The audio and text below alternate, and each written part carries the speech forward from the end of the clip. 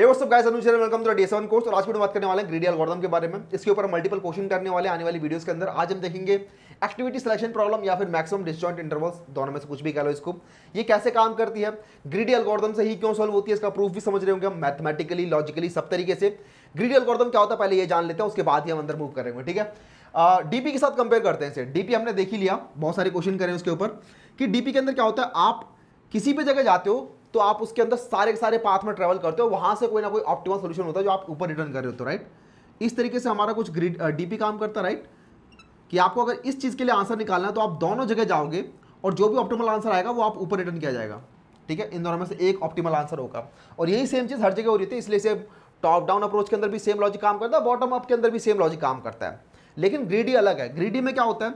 आपके पास अगर multiple path बन भी रहे ना तो भी आपको पता होता है इस जगह पे कि मुझे कौन से वाले पाथ में जाना है। ठीक है? आपको पहले ही पता होगा। और आप वहाँ पे एक सोचा समझा डिसीज़न लोगे कैलकुलेटेड डिसीज़न लोगे कि मुझे इस साइड जाना चाहिए। तो फिर आप इस डायरेक्शन में आते हो। उसके बाद आप यहाँ से फिर इस डायरेक्शन में जाते हो। ठीक है? तो आप हर स्टेप के ऊपर एक कैलकुलेटेड डिसीज़न लेते हो कि हाँ मुझे इस साइड जाना चाहिए, क्योंकि यहाँ से मुझे दिख रहा है ऑप्टिमल आंसर मिल रहा होगा। तो ये होता है हमारा ग्रीडियल गौरदम ये होता है हमारा डीपी जहाँ पर आप सभी केसेस के लिए सॉल्व कर रहे होते हो। तो आई होप आप लोगों को थोड़ा थोड़ा क्लियर होने लग गया होगा। बाकी हम ये एग्जाम्पल्स देख रहे होंगे, बाकी सारे हम क्वेश्चन कर रहे होंगे, वहाँ से भी क्लियर होगा। एक छोटा सा एग्ज़ाम्पल और लेते हैं। सपोज़ करो आपको कुछ डिनोमिनेशन दे रखी है। तीन, पाँच और दस, ठीक है? ये डिनोमिनेशन दे रखी है और आपको इसका यूज़ करके बनाने हैं कुछ रुपीज़ सपोज़ करो ट्वेंटी थ्री रुपीज़ बनाने हैं। तो ये क्वेश्चन हमने देखा था डीपी से। इसको ग्रेडी की हेल्प से भी सोचने का ट्राई करो, कैसे हो सकता है? कि ग्रीडी कैसे काम करेगा? ग्रीडी ये नहीं देखा कि पहले मैं तीन के लिए भी सॉल्व करता हूँ, पाँच के लिए भी सॉल्व करता हूँ, दस के लिए भी सॉल्व करता हूँ। ना ग्रीडी ऐसे नहीं चलता। ग्रीडी क्या करता है? ग्रीडी देखता है सबसे बड़ा वाला कौन कौन सा? दस है ना? दस के लिए सॉल्व कर लो इसे, ठीक है? तो दस के दो ले लो। हो गए बीस। अब बचे तीन रुपये तीन के लिए एक ले लो। तो इससे तो इसका तेईस आ गया आंसर और यहाँ पर ये काम करेगा, लेकिन सभी डिनोमिनेशन के लिए ये काम नहीं करेगा। इसका मतलब एक और चीज़ ग्रीडी देखने में लगती है इंट्यूटिव अप्रोच है, लेकिन हर जगह काम नहीं करती है। किसी किसी स्टैंडर्ड प्रॉब्लम में काम करते हैं और हम वो स्टैंडर्ड प्रॉब्लम्स देखने वाले हैं, ठीक है? स्टार्ट करते हैं विद दिस प्रॉब्लम तो सबसे पहले प्रॉब्लम स्टेटमेंट की बात कर लेते हैं। आपको कुछ इंटरवल्स दे रखे हैं। एन इंटरवल्स के स्टार्टिंग टाइम और फिनिशिंग टाइम दे रखे हैं आपको। तो ये ज़ीरो इंटरवल है तो इसका स्टार्टिंग टाइम वन है एंडिंग टाइम थर्टीन है। ये फ़र्स्ट इंटरवल इसका स्टार्टिंग टाइम फोर है एंडिंग टाइम सिक्सटीन है एंड सो वन ठीक है? स्टार्टिंग एंड फिनिश टाइम देखें. इस तरीके से यहाँ पर आपको मैंने ऐसे समझाने का ट्राई किया कि ये बहुत सारे इंटरवल्स हैं, ये वो पाँच इंटरवल्स हैं, वो मैंने यहाँ पर लिख दिया आपको ये इंटरवल्स इस तरीके से चूज़ कर रहे हैं सच दैट आपको मैक्सिमम डिसजॉइंट इंटरवल्स मिल सकें, ठीक है? मैक्सिमम डिसजॉइंट इंटरवल्स तो आप कौन कौन से इंटरवल चूज़ कर सकते हो? आप चाहो तो फोर सिक्स सेवन थर्टीन और फिफ्टीन नाइनटीन ये चूज़ करोगे तो आपके पास तीन इंटरवल्स होंगे जो कि अलग अलग हैं डिसजॉइंट हैं, जो कि ओवरलैप नहीं कर रहे हैं। देख रहे हो फोर सिक्स सेवन थर्टीन के साथ ओवरलैप नहीं करेगा और ये फिफ्टीन नाइनटीन के साथ भी ओवरलैप नहीं करेगा। आप और भी मल्टीपल तरीके से चूज़ कर सकते हो। सपोज़ करो आप ये वाला इंटरवल चूज़ कर लो वन थर्टीन वाला।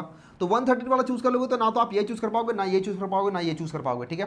फिर आपको ये चूज़ करना पड़ेगा। तो यहाँ पर हमें सिर्फ़ दो इंटरवल्स मिल रहे हैं राइट तो हमें इस तरीके से इंटरवल्स चूज़ करने हैं सो so दैट हमको मैक्सिमम डिसजॉइंट इंटरवल्स मिल सके, ये हमारा क्वेश्चन है। और ये होगा हमारा ग्रीडी एल्गोरिथम की हेल्प से, जरा सोचो किस तरीके से सॉल्व होने वाला है। तो यहाँ पर आपके दिमाग में मल्टीपल लॉजिक आ रहे होंगे, और वो एक लॉजिक ये हो सकता है कि आप ऐसा करो छोटी छोटी जॉब्स को चूज़ कर लो।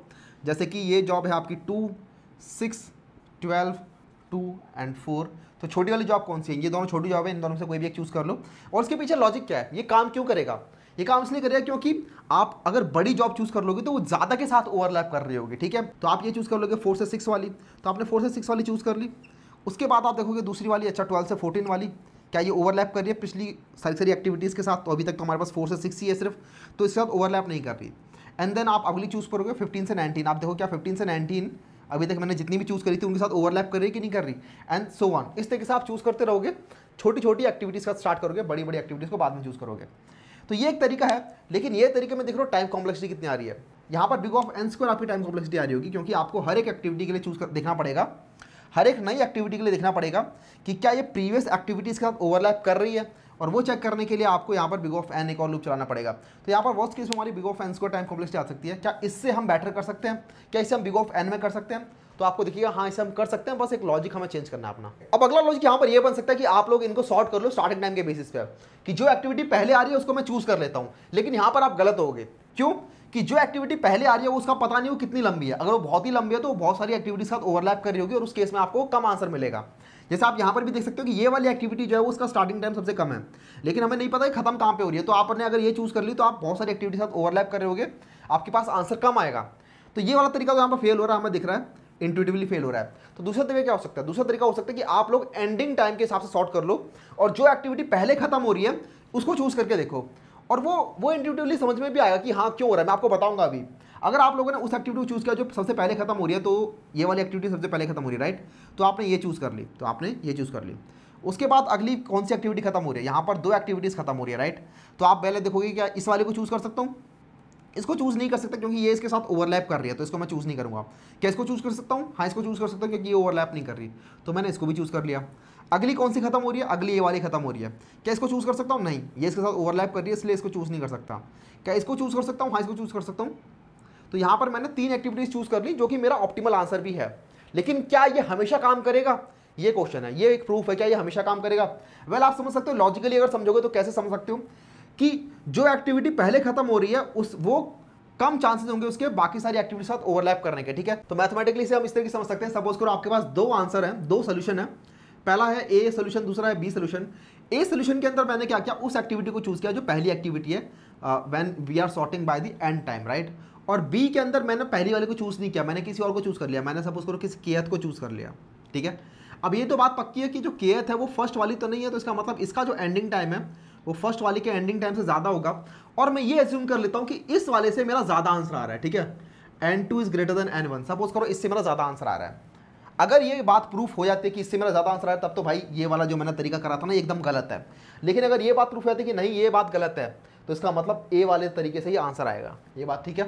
तो जरा समझते हैं क्या ये बात सही है कि नहीं है। सपोज़ करो बी वाले सेट में से मैं के को हटा देता हूँ। तो मेरे पास टोटल बचेंगे एन टू माइनस वन ठीक है? इतने सेट बचे, इतने इंटरवल्स बचेंगे। ये n two minus one interval अगर मैंने इसको हटा दिया तो।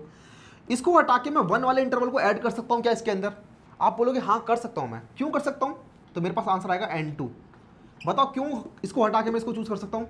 क्योंकि मुझे पता है इसका एंडिंग टाइम इसके एंडिंग टाइम से तो ज़्यादा है। इसका मतलब ये पहले ही स्टार्ट हो रही होगी। इसका मतलब अगर मैं इसको रिमूव कर दूँ तो बाकी सारी एक्टिविटी बी के अंदर तो इसके बाद ही स्टार्ट हो रही होंगी राइट इसका मतलब के के बाद वाली कोई भी एक्टिविटी वन के साथ तो ओवरलैप नहीं करने वाली। के प्लस वन एक्टिविटी ही नहीं करेगी वन के साथ ओवरलैप तो बाकी तो करेंगी ही नहीं राइट तो इसका मतलब मैं इस वाली एक्टिविटी को हटा के वन वाली एक्टिविटी को चूज़ कर सकता हूँ। अगर मैंने वन वाली एक्टिविटी को चूज़ कर लिया तो मैं फिर इस रास्ते से क्यों जाऊँगा? ये ऑप्टिमल आंसर हो भी कह सकता है मेरा। अगर मैंने वन वाले को चूज़ कर लिया तो मैं इसी आंसर से ना चले जाऊँ, जहाँ से मेरे पास ज़्यादा आंसर आ रहे हैं, जहाँ पे मेरे को ज़्यादा ऑप्शन मिल रहे हैं। तो इसका मतलब अगर आप वन वाले से चूज़ कर रहे हो तो आप ऑप्टिमल आंसर लेके आप आ रहे हो। इसका मतलब ये जो आंसर आ रहा है एन टू जो आ रहा है, एक तरीके से एन वन के बराबर है। विच वायलेट्स आर प्रीवियस अजम्पन जो कि n two greater than n one था। इसका मतलब वन वाले को चूज़ करके, पहली एक्टिविटी को चूज़ करके ही आप लोग ऑप्टिमल आंसर लेके आ सकते हो। तो इस तरीके से हमारे यहाँ पर लॉजिक भी प्रूफ हो जाता है। अब जरा सा कोड देख लेते हैं कि कोड कैसे काम करेगा। उसके बाद हम ड्राई रन करेंगे इसके एग्ज़ाम्पल के ऊपर। तो हम आगे अपने एडिटर के अंदर, यहाँ सबसे पहले एक आंसर नाम का एरलिस्ट बना लिया मैंने, जिसके अंदर मैं सारे सारे आंसर वाले इंटरवल्स डाल रहा हूँ ये क्वेश्चन है गिक्स गिक्स के ऊपर maximum meeting in a room तो बेसिकली एक रूम दे रखा आपको, उसके अंदर स्टार्टिंग टाइम और एंडिंग टाइम दे रखे मल्टीपल मीटिंग्स के। तो उस रूम के अंदर आप लोग कितनी मीटिंग्स कर सकते हो? वही क्वेश्चन है। बेसिकली सेम क्वेश्चन है। एक्टिविटी सिलेक्शन तो आपको यहाँ पर अगेन एरेज रखा है स्टार्टिंग टाइम और फिनिशिंग टाइम के हिसाब से देख रहे हो स्टार्टिंग और फिनिशिंग टाइम यहाँ पर छः एक्टिविटीज़ रखी हैं। और आउटपुट के अंदर आपके वन टू फोर फाइव ये वाली एक्टिविटीज़ हैं। वन वाली टू वाली फोर वाली और फाइव वाली। तो यहाँ पर हम काउंट नहीं बता रहे, यहाँ पर हम आंसर भी बता रहे हैं कि आंसर के अंदर कितनी एक्टिविटीज़ आने वाली हैं। तो उसके लिए मैंने यहाँ पर answer of array list of answer बना लिया एक इंटीजर एरे और ये हमारा ए एरे बनाना पड़ा मुझे। मुझे अलग से बनाना पड़ा क्योंकि यहाँ पर मुझे सॉर्ट करना है फिनिशिंग टाइम के बेसिस पर। अगर मैं इस एरे को फिनिशिंग टाइम के बेसिस पे ऐसे सॉर्ट कर देता हूँ तो ऊपर वाले स्टार्टिंग एरे के साथ मेरी मैचिंग नहीं हो पाएगी। समझ रहे हो? मैंने अगर इसको सॉर्ट कर लिया तो ये ऊपर वाले के साथ ऑर्डर मेंटेन नहीं रहेगा। तो उसके लिए मुझे यहाँ पर एक अलग से एरे बनाना पड़ा। कोई दिक्कत वाली बात नहीं उसके अंदर। मैंने इसका साइज़ तीन रखा है, क्योंकि एक इंडेक्स जो ज़ीरो इंडेक्स है, उसके अंदर मैं इंडेक्स रखने वाला हूँ। तो उसको हम फिल कर देते हैं इस वाले एरे को। ठीक है, ये टू डी मैट्रिक्स जो है। तो इसके अंदर शुरुआत वाली जो इंडेक्स है ज़ीरो इंडेक्स है, उसके अंदर तो मैं इंडेक्स को रख लूँगा। आई प्लस वन करके रख रहा हूँ, क्योंकि यहाँ पर जो ये आंसर मांग रहे हैं ना, वो आई प्लस वन करके मांग रहे हैं। वन बेस्ड इंडेक्सिंग करके आंसर मांग रहे हैं। तो इसलिए मैंने यहाँ पर आई प्लस वन रख लिया है, हर इंडेक्स के ऊपर। उसके बाद जो फ़र्स्ट इंडेक्स है, उसके ऊपर मैंने स्टार्टिंग टाइम रख दिया और सेकेंड इंडेक्स के ऊपर मैंने फिनिशिंग टाइम रख दिया अब इस टू डी एरे को हमें शॉर्ट कर लेना है बाय फिनिशिंग टाइम तो उसको सॉर्ट करने के लिए मैंने एरेज डॉट सॉर्ट चला दिया है। इसके अंदर हमें अपना कस्टम कंपेरेटर पास करना पड़ेगा राइट तो मैंने यहाँ पर इस तरीके से इसको लैमडा का यूज़ करके बना दिया। आप चाहो तो न्यू कंपेरेटर उसके बाद कंपेयर टू मेथड को ओवरराइड कर सकते हो। लेकिन कंपेरेटर जो इंटरफेस है, उसके अंदर अगर एक ही मेथड होता है हमें पता है लैमडा के अंदर अगर एक ही इंटरफेस है, एक ही इंटरफेस के अंदर एक ही मेथड है तो उसको आप लोग डायरेक्टली लैमडा के अंदर इस तरीके से कन्वर्ट कर सकते हो। तो ये क्या कर रहा है? ये इस टू डी एरे को ले रहा है और इसके अंदर जितने भी वन डी एरेज हैं, ये ओ नाम के जितने भी वन डीज एरेज हैं, उनको ये ओ टू के बेसिस पर सॉर्ट कर रहा है। ओ टू का मतलब फिनिशिंग टाइम के बेसिस पर सॉर्ट कर रहा है।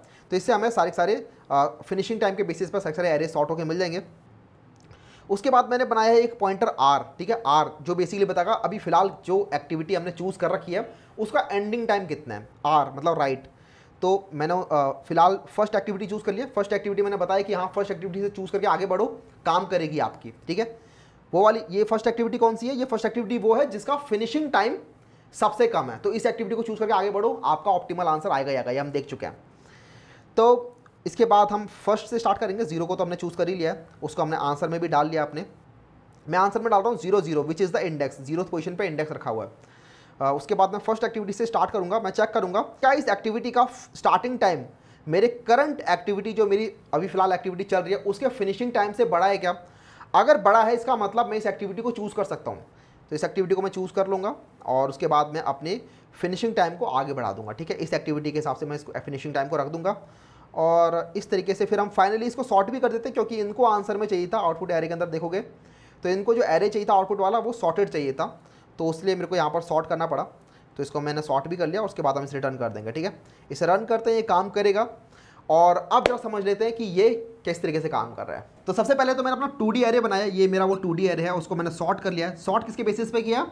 फिनिशिंग टाइम के बेसिस पे शॉर्ट किया, ठीक है? तो ये मेरा फिनिशिंग टाइम है, आप देख रहे हो ये सॉर्टेड है।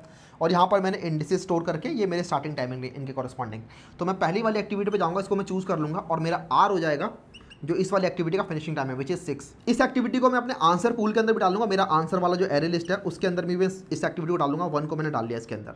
उसके बाद मैं अगली एक्टिविटी पर जाऊँगा, इसका मैं चेक करूँगा कि क्या इस एक्टिविटी का स्टार्टिंग टाइम मेरे करंट फिनिशिंग टाइम से बड़ा है क्या? मैं देखूँगा, नहीं, ऐसा नहीं है. इसका मतलब ये ओवरलैप कर रही है इस एक्टिविटी के साथ प्रीवियस एक्टिविटी के साथ. तो इसको हम इग्नोर करके आगे चलते हैं. क्या इसका स्टार्टिंग टाइम मेरे करंट फिनिशिंग टाइम से ज़्यादा है क्या? तो हाँ है. तो इसको हम चूज़ कर लेते हैं और अभी मेरा एंडिंग टाइम हो जाएगा थर्टीन राइट और इसको चूज़ कर लेते हैं तो थ्री भी हमारा आंसर एरे के अंदर आ जाएगा। और आपको अभी दिख भी रहा होगा, इस सात से तेरह वाली एक्टिविटी को हम चूज़ कर सकते थे इसको चूज़ करने के बाद। अब हम अगली एक्टिविटी पर जाते हैं which is this four twelve fourteen क्या इसका जो स्टार्टिंग टाइम है, मेरे करंट फिनिशिंग टाइम से बड़ा है? नहीं, बड़ा नहीं है तो इसको हम इग्नोर कर देंगे, फिर हम लास्ट वाली एक्टिविटी पे आएँगे। क्या इसका स्टार्टिंग टाइम मेरे करंट फिनिशिंग टाइम से बड़ा है? हाँ बड़ा है तो मेरा करंट फिनिशिंग टाइम हो जाएगा 19 जो इसका फिनिशिंग टाइम है। और इसको मैं इंक्लूड कर लूँगा, ठीक है? तो इसका इंडेक्स फाइव है तो मैं फाइव को इंक्लूड कर लूँगा, और फिर मैं इसको सॉर्ट कर दूँगा, क्योंकि हो सकता है कि ये सॉर्टेड ऑर्डर में ना मिले मुझे, ठीक है? तो इसको मैं सॉर्ट कर दूँगा बाद में, और उसके बाद में रिटर्न कर दूँगा। तो इस तरीके से ये काम कर रहा है कोड भी काम कर रहा है, और लॉजिक भी आप लोगों को समझ में आ रहा हो कैसे लॉजिक काम कर रहा है। यहाँ पर इसका कोड है, आप लोग इसको सबमिट भी कर सकते हो। आई होप आप लोगों को मज़ा आया हो इस वीडियो के अंदर। इसके बाद हम कुछ और क्वेश्चन करेंगे ग्रीडी प्रोग्रामिंग के अंदर ही ग्रीडी अलगोर्दम को हम देख रहे होंगे अच्छे से। इस वीडियो को लाइक कर देना चैनल कर देना सब्सक्राइब मैं आप लोगों नेक्स्ट वीडियो में चलते हैं। Bye bye